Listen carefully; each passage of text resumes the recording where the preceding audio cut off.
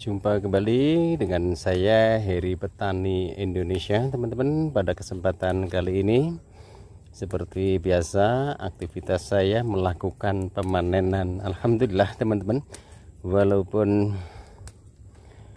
komoditas cabai akhir-akhir ini turunnya gratis tapi sebagai petani kita semua wajib bersyukur teman-teman. Karena apa tanpa rasa syukur pasti semua itu akan kurang teman-teman. Maka dari itu kita sebagai petani wajib bersyukur teman-teman karena tanpa adanya rasa syukur kita semua akan selalu merasa berkurang. Yang terpenting menanam tanaman cabai ataupun berkebun itu harga itu adalah bagian dari bonus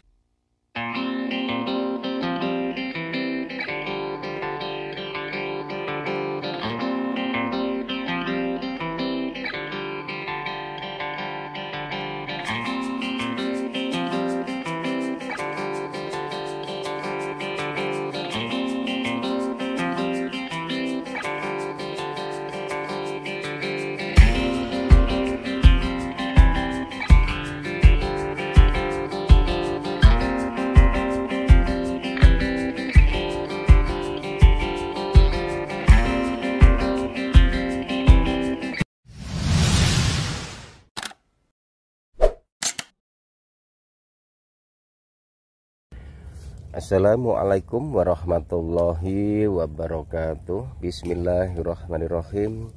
Allahumma sholli ala Sayyidina Muhammad wa ala ali Sayyidina Muhammad. Berjumpa kembali dengan saya Heri Petani Indonesia. Pada kesempatan pagi menjelang siang ini Saya sedang melakukan pemanenan tanaman cabai ori 212 Dan untuk kondisi tanamannya sampai saat ini Alhamdulillah bebas dari hama kemudian juga pada waktu itu pernah terserang penyakit antraknosa ataupun patek. Kemudian saya lakukan perawatan yang rutin. Buah-buahnya sangat super-super sekali dan juga bisa dilihat bunganya masih terus bermunculan. Sebenarnya tanaman cabai ini juga terindikasi virus kuning teman-teman. Ini sebenarnya virus kuning tapi tanaman cabai ini masih produktif dan buah-buahnya pun juga tidak kalah dengan tanaman cabai yang sehat. Ini sudah kuning-kuning semua ini tanaman cabai kami. Tapi jika membuat videonya agak jauhan itu tidak kelihatan. Buahnya tetap produktif. Nah ini buah. Satu dua tiga empat lima enam tujuh. Dan ini muncul lagi calon bunga. Dan ini calon bunga. Dan ini sudah menjadi buah. Jadi harapan kami seperti itu. Nanti kalau saya pusing hanya mikirkan virus kuning virus gemini yang ada akan menjadi rasa takut sehingga akhirnya kita semua akan malas untuk melakukan perawatan tanaman cabai yang sudah terindikasi terserang penyakit kuning ataupun virus-virus kuning. Jadi Saran dari kami yang terpenting dirawat, berikanlah nutrisi ataupun unsur hara yang cukup insya Allah tanaman cabai itu walaupun terkena virus kuning masih produktif untuk mengeluarkan bunga dan buahnya.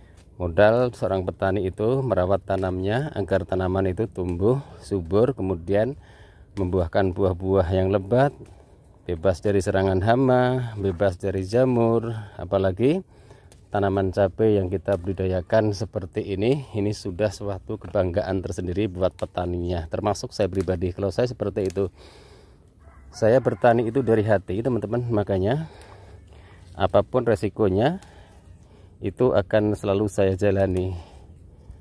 Jika kita bicara pertanian memang suatu hal yang sangat sulit sekali.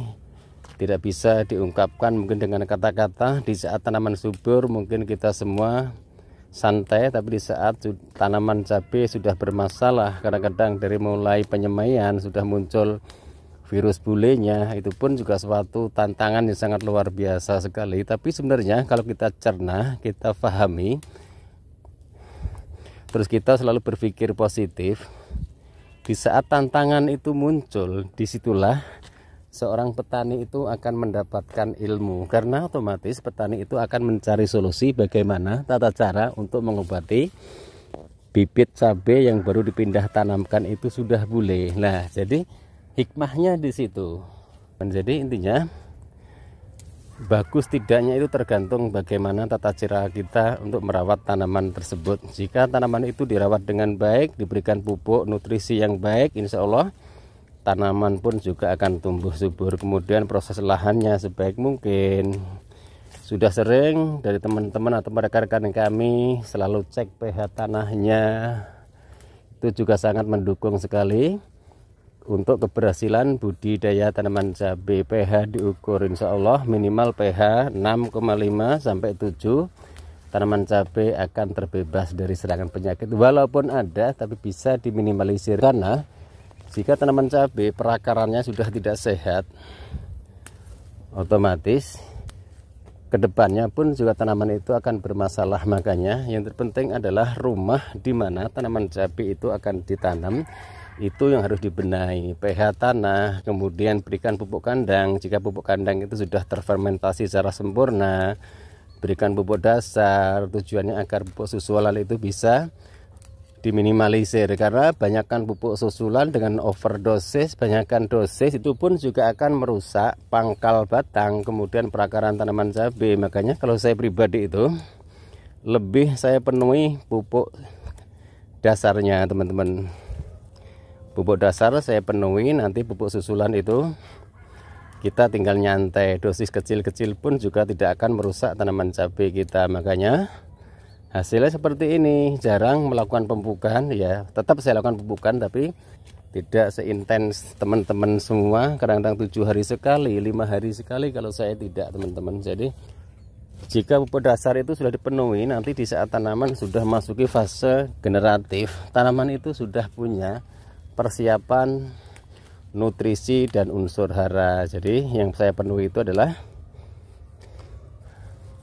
pupuk dasarnya pupuk susulan kadang-kadang hanya menggunakan asam humat. NPK juga saya berikan di saat tanaman kami sudah masuki usia 40 hari.